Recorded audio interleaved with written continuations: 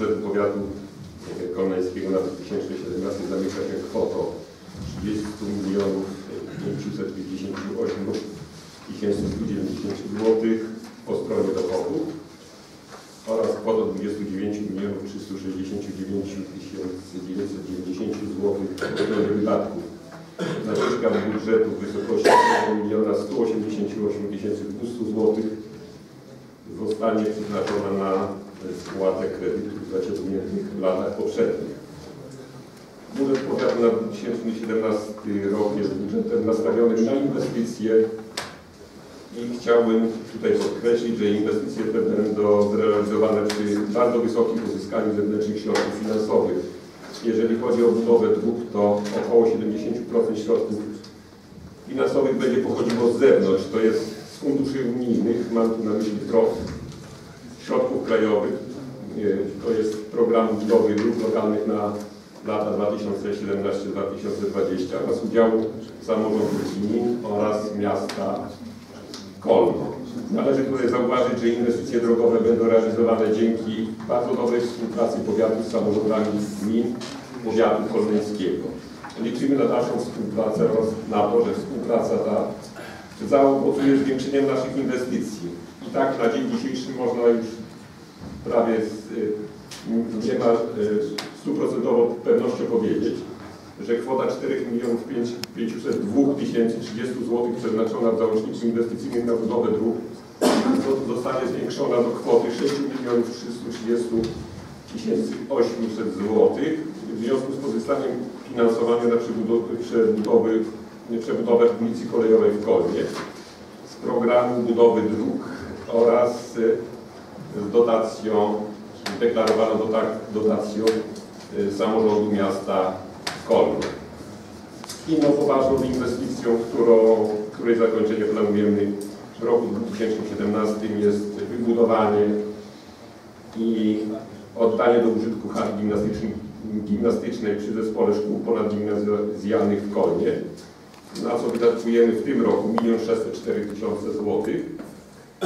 Realizacja tego zadania przebiega terminowo. Podpisaliśmy umowę z miastem Kolno na sprzedaż naszych udziałów we wspólnej hali zlokalizowanej przy gimnazjum. Miasto terminowo przekazało nam pierwszą kwotę, yy, pierwszą ratę w kwocie 600 tysięcy złotych. Drugą ratę otrzymamy zgodnie z umową w roku 2017. W roku bieżącym złożyliśmy dokumenty niezbędne do uzyskania dofinansowania z rezerwy ministra sportu i turystyki. Umowa została podpisana. Pierwsza, pierwszą ratę w wysokości 525 tysięcy złotych już otrzymaliśmy. Drugą ratę w wysokości 554 700 zł otrzymamy po zakończeniu inwestycji w roku następnym. Ponadto w bieżącym roku opracowaliśmy i złożyliśmy do Marszałka Województwa Podlaskiego wniosek o dofinansowanie tej inwestycji ze środków PEPFRON na kwotę 800 tysięcy złotych. Rozpatrzenie wniosku nastąpi na początku roku 2017. Liczymy na to, że pozyskanie środków finansowych z PEFRON obniży koszt poniesiony przez powiat na budowę tej hali.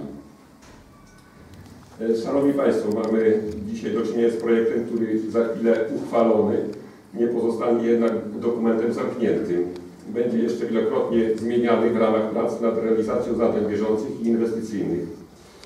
Sądzimy, że w trakcie roku 2017 rozpoczniemy zadania, na które pozyskamy dofinansowanie zewnętrzne. Mam tu na myśli inwestycje drogowe, a właściwie może nie inwestycje, ale remonty i remonty e, dróg i remonty chodników. Tutaj już wstępne deklaracje ze strony wójtów, burmistrzów mamy. I myślę również o e, przebudowie części mieszkalnej budynku zajmowanego przez PCPR na potrzeby ośrodka wsparcia e, dla osób z zaburzeniami, zaburzeniami psychicznymi. Ośrodek ten jest bardzo potrzebny, bo nasz powiat jako jeden z nielicznych w województwie podlaskim nie świadczy tego typu pomocy dla mieszkańców swojego powiatu. Jesteśmy w tej chwili na etapie, e, mamy opracowaną koncepcję. E, planujemy po nowym roku e, rozmowę z, z Urzędem Wojewódzkim na temat możliwości sfinansowania tego projektu. Mamy nadzieję na to, że w tym roku uda nam się tę inwestycję rozpocząć. Panie i Panowie Radni, Y, Zadania inwestycyjne, które omówiłem przed chwileczką, będą zrealizowane bez konieczności zaci- zaciągania kredytów czy pożyczek. Co więcej, w roku 2017, rok 2017 to kolejny rok, gdzie zmniejszamy zadłużanie powiatu, spłacając wcześniej zaciągnięte kredyty. Poważnym zagrożeniem dla, dla finansów powiatu w 2017 roku jest natomiast niezakończona sprawa roszczeń podmiotów niepublicznych prowadzących szkoły ponadgimnazjalne na terenie powiatu kolmeńskiego. Na ten cel zabezpieczyliśmy w budżecie powiatu kwotę 391 760 zł. Są to środki niewystarczające do pokrycia wszelkich roszczeń z tego tytułu. Szanowni Państwo, budżet powiatu kolmeńskiego na 2017 rok jest budżetem bardzo ambitnym, prorozwojowym. Jest to budżet z dużym wykorzystaniem zewnętrznych środków finansowych. Budżet bez konieczności zaciągania nowych zobowiązań. Budżet, budżet ten jest oparty na realnych założeniach i uzyskał pozytywne opinie wszystkich komisji Rady Powiatu Kolmeńskiego, Re- e, RIO, Regionalnej Izby Obrachunkowej w Białymstoku. Dlatego też w imieniu Zarządu Powiatu Kolmeńskiego wnoszę o jego uchwalenie. Dziękuję.